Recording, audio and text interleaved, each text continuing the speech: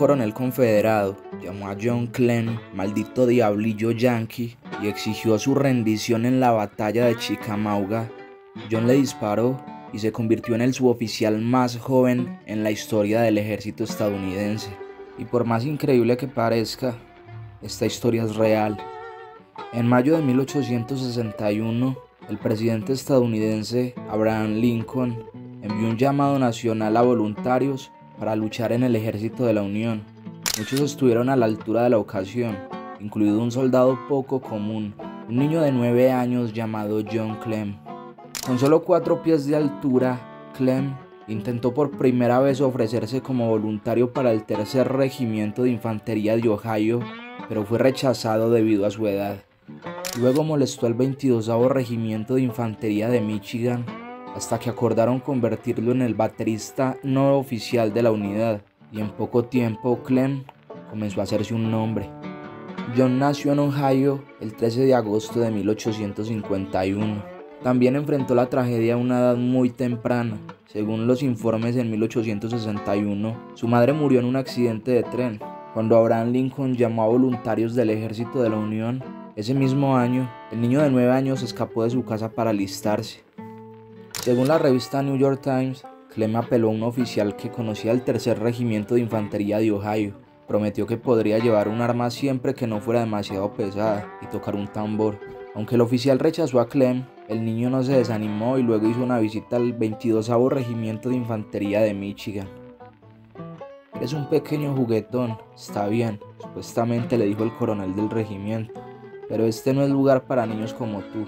Si fueras un pie más alto y algunos años mayor, Tal vez te llevaría conmigo, pero como no eres ninguna de esas cosas, me temo que tendrás que quedarte aquí con la gente de casa. Pero Clem persistió y el 22 de Michigan finalmente aceptó dejarlo acompañarlo como su baterista. El puesto no oficial no incluía salario, pero los oficiales de la unidad donaron parte de su salario para pagarle a Clem 13 dólares al mes. El pequeño Johnny Clem, como se le conoció, fue uno de las decenas de miles de niños que lucharon en la guerra civil. Si bien ni los ejércitos de la Unión ni los confederados reclutaron oficialmente a niños menores de 18 años, muchos niños y adolescentes se ofrecieron como voluntarios de todos modos. Y aunque algunos jóvenes los mantuvieron lejos de las batallas, compuestos como bateristas, mensajeros o mandaderos, muchos más como John Clem vieron acción en el frente. Y en septiembre de 1863, la batalla de Chickamauga convertiría al niño de 12 años en una celebridad de la Unión. Aunque se han extendido leyendas sobre John Clem en la batalla de Silo, no es muy probable que haya visto acción allí.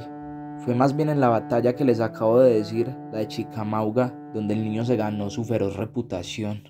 Librada en septiembre de 1863 en Georgia, la batalla de Chickamauga fue la batalla más sangrienta del teatro occidental y la segunda más sangrienta de la guerra civil, solo detrás de Gettysburg. De los 455 hombres del 22 de Michigan, 389 fueron capturados, heridos o asesinados, y John Clem era casi uno de ellos. Mientras defendía Horse Road Ridge, Clem supuestamente se separó del 22 de Michigan cuando el regimiento se vio obligado a retirarse. Estaba armado únicamente con un mosquete que había sido cortado para poder transportarlo cuando Clem se topó directamente con un oficial confederado. Vaya, pero usted un tipo pequeño para estar en este negocio, se rió el oficial, según The New York Times. Pero la guerra es la guerra y creo que lo mejor que puede hacer un tipo como usted es soltar esa arma. Otras fuentes afirmaron que el oficial llamó a Clem un maldito diablillo yankee, pero dijera lo que dijera, la reacción de Clem fue la misma. En lugar de rendirse, Clem levantó su mosquete modificado disparó al oficial y corrió para salvar su vida. Clem fue ascendido a sargento por su valentía. Eso convirtió a John Clem en el oficial más joven en la historia del ejército de los Estados Unidos y también le valió el apodo del baterista de Chickamauga. Pero la historia no terminó ahí. Apenas unas semanas después de escapar de la captura en Chickamauga, John Clem se encontró acorralado por los confederados en Tennessee. Sus captores lo retuvieron durante solo tres días antes de enviarlo al norte en un intercambio de prisioneros de guerra. Mientras regresaba al 22 de Michigan, Clem se reunió con el general de la Unión, William S. Rosecrans, quien había sido relevado de su cargo después de no poder asegurar una victoria de la Unión de Chickamauga. Impresionado con Clem, Rosecrans habló a los periódicos sobre el joven baterista, ayudando así a difundir su historia.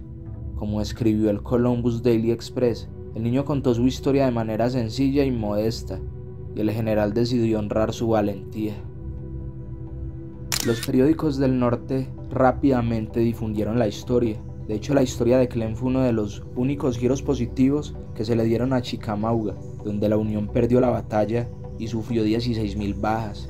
Pero la época de Clem como soldado estaba llegando a su fin. En julio de 1864, el Departamento de Guerra anunció sanciones estrictas para el reclutamiento de soldados menores de 16 años. Un oficial del regimiento de Clem se reunió con el joven de 13 años un mes después, despidió oficialmente a Clem del servicio y alentó al niño a buscar una mejor oportunidad para educarse.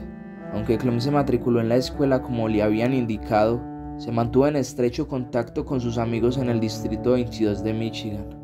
Voy a estudiar aquí y estoy muy satisfecho con la institución y con mis compañeros, escribió Clem. Por favor dígale a mi coronel que me escriba tan pronto como pueda. Si alguno de los oficiales está dispuesto a escribirme, me complacería mucho saber de él. Sin embargo, el tiempo de John Clem en el ejército aún no había terminado. John Clem se graduó de la escuela secundaria en 1870 cinco años después del final de la guerra civil, pero en el fondo seguía siendo un militar. El presidente Ulysses S. Grant nominó personalmente a Clem para West Point. Cuando reprobó su examen de ingreso, Grant nombró a Clem como segundo teniente en el ejército de todos modos.